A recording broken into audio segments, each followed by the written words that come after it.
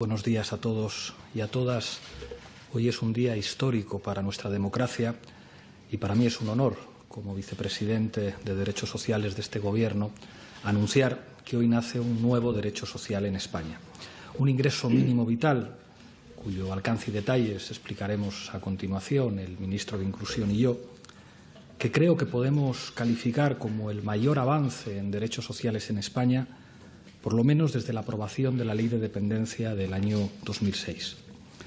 Como saben ustedes, a finales de enero, poco después de que se formara este Gobierno de coalición progresista, visitó España Philip Alston, el relator especial de Naciones Unidas para la, extrema pobreza, eh, para la extrema pobreza, que hizo un informe que nos sacaba los colores como país un informe en el que relataba las condiciones de exclusión social en las que vive una parte muy importante de la población de nuestra patria muchos de ellos niños y niñas.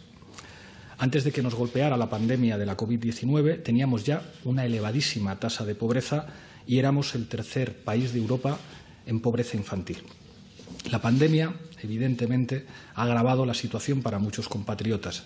Y aunque este Gobierno ha hecho, como explicaba la ministra portavoz, una movilización de recursos sin precedentes para construir un escudo social que está protegiendo a a las familias españolas y a la gente de nuestro país del impacto económico de la crisis, es evidente que la situación sobrevenida que ha llegado nos ha obligado a acelerar la implementación de este ingreso mínimo vital. Este era un compromiso de legislatura que figuraba en el programa de Gobierno, pero a raíz de la pandemia se convirtió en una necesidad absolutamente urgente porque miles de familias españolas sencillamente no pueden esperar más. Quiero agradecer en ese sentido el trabajo del ministro Escribá y de todo su equipo, que ha sido excelente. Quiero agradecer al presidente del Gobierno que atendiera la urgencia que le, reclamé para sacar esto adelante lo antes posible y quiero dar las gracias al Ministerio de Derechos Sociales, a su secretario de Estado, Nacho Álvarez, a Jorge Usó y a todo el equipo que han sido capaces, junto con el equipo del ministro Escribá, de quitándose muchas horas de sueño, trabajar para que hoy podamos decir que el ingreso mínimo vital es ya una realidad en España y que nuestra patria cuenta con un instrumento que la coyuntura nos ha obligado a acelerar, pero ojo, que no es una medida coyuntural, es una medida estructural, porque la pobreza en España no es un problema coyuntural, sino un problema estructural. El relator de Naciones Unidas decía que la pobreza es una opción política. Creo que hoy, con toda la humildad este Gobierno está demostrando, no solo con palabras, sino con hechos, que la opción política de este Gobierno es la justicia social. Y demostramos con hechos que nos tomamos en serio la Constitución española. El artículo 41 de la Constitución nos obliga a los poderes públicos a garantizar la asistencia y prestaciones sociales suficientes en situaciones de necesidad, es decir, nos obliga a garantizar la protección social. El ingreso mínimo vital que hoy aprobamos supone tomarse en serio de verdad, con hechos y no con palabras, el mandato constitucional. Quiero dar las gracias, en nombre del Gobierno de España, a todas las redes de solidaridad, asociaciones vecinales, bancos de alimento, parroquias, ONGs y a todas las entidades del tercer sector de acción social que han representado una red de seguridad para muchísimos compatriotas que tenían problemas para satisfacer sus necesidades básicas, pero que han estado haciendo una función que, como decía, nos corresponde a los poderes públicos para cumplir el mandato constitucional. Paso a explicarles ahora con más detalle algunos de los elementos más importantes de esta nueva prestación. El ingreso mínimo vital es una prestación no contributiva de la seguridad social que garantiza ingresos mínimos a quienes carecen de ellos. Se define, como muy bien decía la ministra, como un derecho subjetivo de la ciudadanía. Esto significa que se recibirá siempre que se cumplan los requisitos de acceso, como ocurre, por ejemplo, con el derecho a una pensión de jubilación o a la prestación por desempleo. Por lo tanto, se garantiza que esta red de seguridad va a estar disponible para todo aquel que lo necesite. El ingreso mínimo vital establece así una renta garantizada en toda España que se considera como el mínimo imprescindible para asegurar unas condiciones de dignidad. El umbral de renta garantizada será de 462 euros. 462 euros al mes para una persona adulta que viva sola. Cuando se trate de una unidad de convivencia, esta cantidad se incrementará en 139 euros al mes por cada persona adicional, ya sea un niño o un adulto, hasta un máximo de 1.015 euros al mes. Además, para las familias monoparentales se añade un complemento de 100 euros al mes. El ingreso mínimo vital se calcula como la diferencia entre los ingresos mensuales de la persona o unidad de convivencia y la renta garantizada en cada caso. Les pongo un ejemplo para entenderlo bien. Una persona que viva sola tiene derecho a una renta garantizada de 462 euros. Si esa persona no tiene ningún ingreso, percibirá 462 euros. Pero supongamos que esa persona cuenta con unos ingresos mensuales de 200 euros porque tiene un empleo a tiempo parcial en condiciones de precariedad.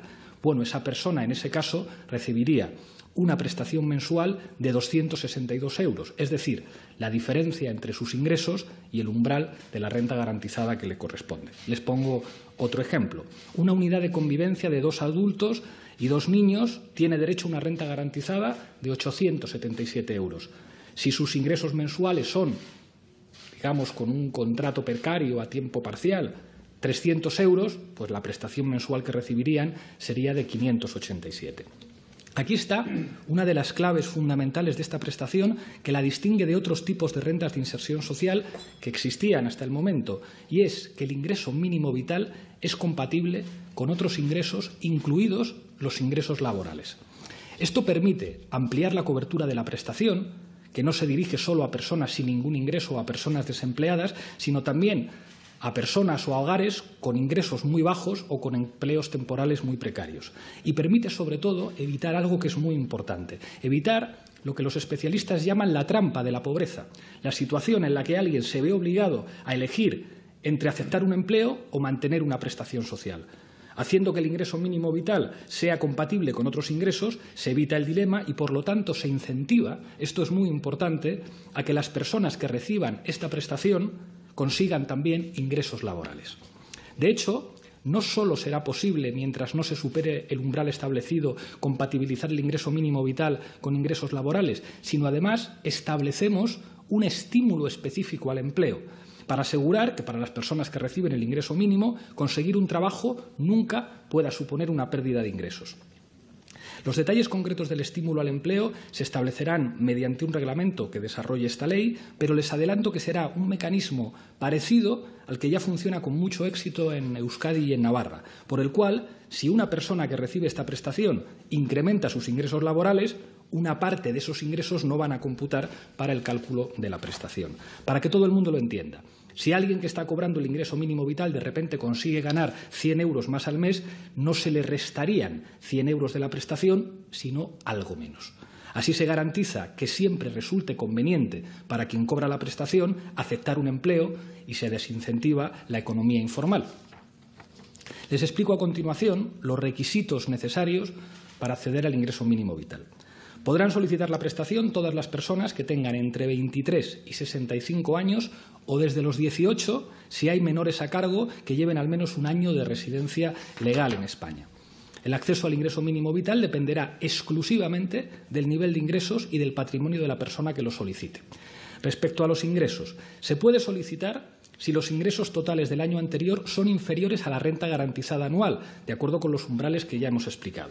Por ejemplo, en el caso de una unidad de convivencia con dos adultos y dos menores, sus ingresos en el año anterior no deben superar los 10.500 euros.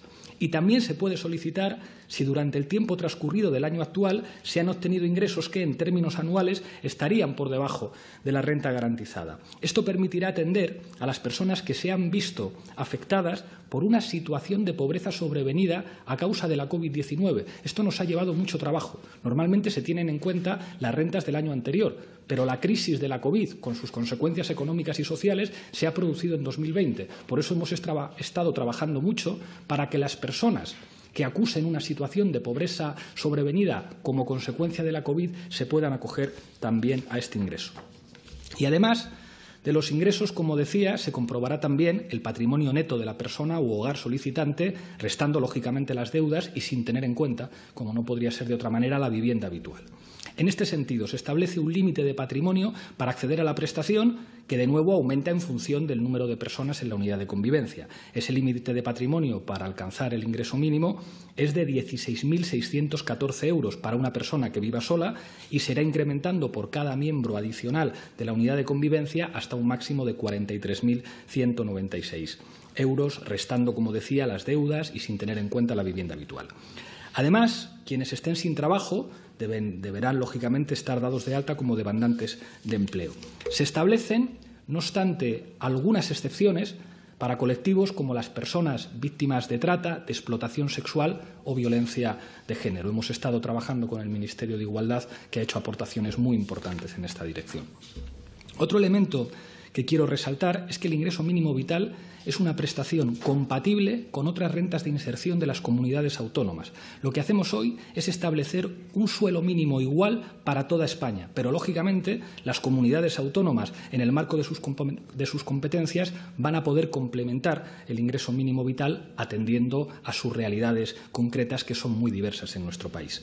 Quiero aprovechar además para agradecer al conjunto de las administraciones autonómicas muchas de las cuales han sido pioneras a la hora de implementar rentas de inserción social, que han sido una referencia fundamental para el trabajo que hemos hecho, aquí.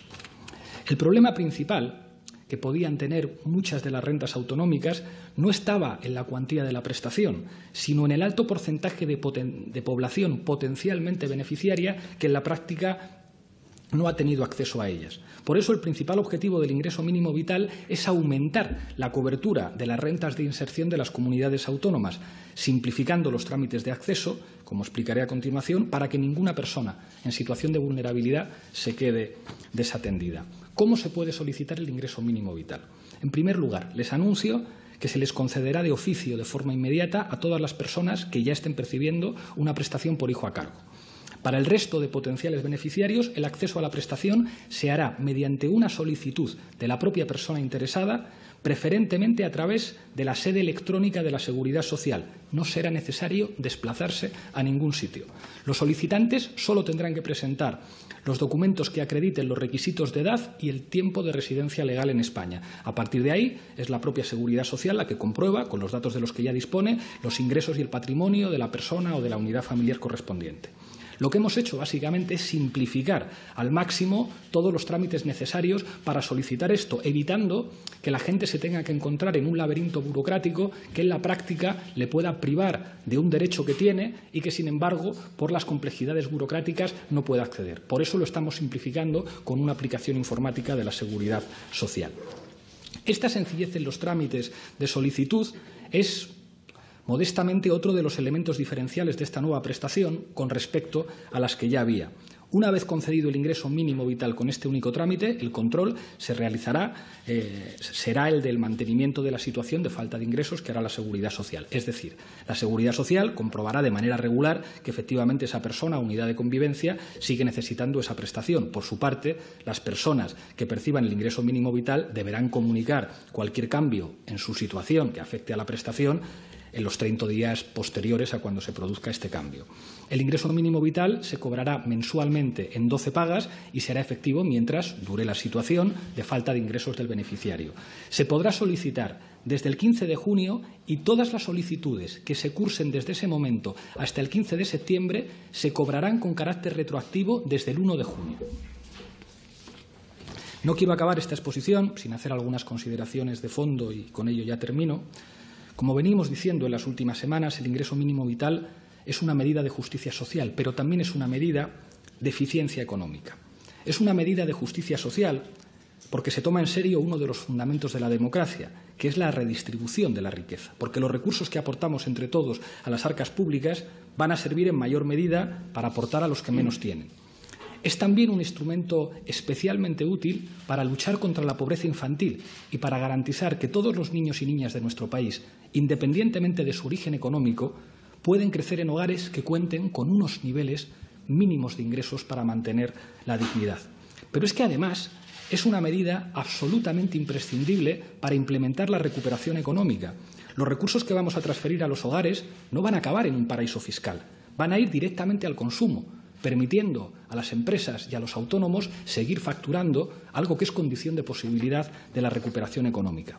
Hoy hay un gran consenso en Europa sobre la necesidad de hacer políticas fiscales expansivas que protejan la demanda, que protejan la demanda interna de nuestras economías y el ingreso mínimo vital es un paso histórico para que nuestro país camine en esa dirección. Y ya la última reflexión. El ingreso mínimo vital es también una cuestión de seguridad. La seguridad de una sociedad democrática no tiene que ver con la dureza de su código penal. Tiene que ver con que la gente tenga unos mínimos niveles de seguridad nacional, de seguridad material, que les permitan satisfacer sus necesidades básicas. Seguridad es saber que, aunque vengan mal dadas, no te vas a quedar en una situación que te impida tener un techo, que te impida llenar la nevera, que te impida llegar a fin de mes, que te impida adquirir los productos que necesita tu familia. Y es también una cuestión de libertad. Porque no hay libertad si una persona tiene que invertir toda su energía simplemente en sobrevivir en lugar de en vivir. Porque no hay libertad si no se tienen unas mínimas condiciones de seguridad económica que permitan no solo satisfacer condiciones básicas, sino también poder disfrutar mínimamente del ocio, acceder mínimamente a la cultura o poder ir alguna vez con tu familia al cine. No hay libertad si no se llega a fin de mes. Quiero acabar dando las gracias a todos los colectivos de la sociedad civil, a los trabajadores y trabajadoras de los servicios sociales públicos que durante muchos años han peleado contra viento y marea para poner sobre la mesa la necesidad de que las instituciones públicas adoptaran una medida como esta. El ingreso mínimo vital no es un éxito del Gobierno de coalición, es una victoria de todos los colectivos y personas anónimas que han trabajado durante muchos años contra viento y marea, recibiendo muchísimos insultos y descalificaciones para que el ingreso mínimo vital fuera posible. Gracias a ellas y a ellos, hoy en España hay un ingreso mínimo vital. Gracias.